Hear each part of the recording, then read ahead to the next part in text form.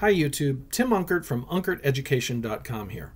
In this video, I'm going to show you how to set up VS Code like Atom. Atom was a great text editor that was discontinued at the end of December 2022. And right now, the Pulsar editor has taken on the legacy of Atom.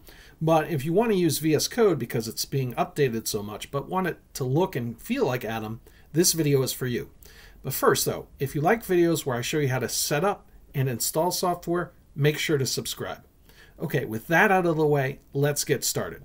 So I have VS Code open. The first thing I want to do is change the theme. So I'm going to go to my extensions here, and I'm going to search for One Dark, which is the default theme for VS Code, or for Atom rather. And I see this One Dark Pro.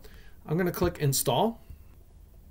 Once this uh, plugin is installed, I'll uh, choose One Dark Pro to get my editor to look more like Atom. Okay. Another thing, uh, Atom tends to be minimal, so I'm going to take care of this activity bar and sidebar and the status bar. Uh, I'm just going to toggle the minimap off by bringing my command palette and searching for toggle minimap.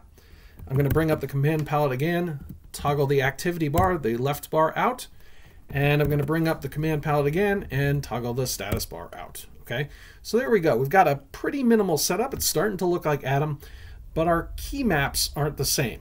So when, when the activity bar is out, I could toggle it back on, but one quick way to add an extension is do Control Shift X, okay? And what I'm going to search for is Atom.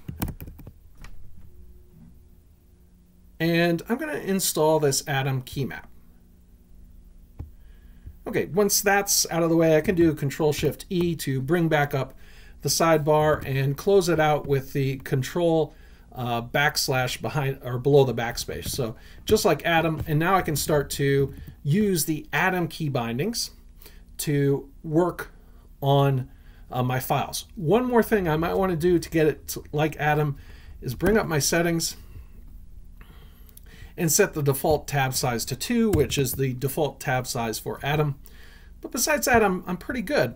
My VS Code is going to perform a lot like the Atom text editor, except it gets all the updates of VS Code, but it has all the look and feel of Atom.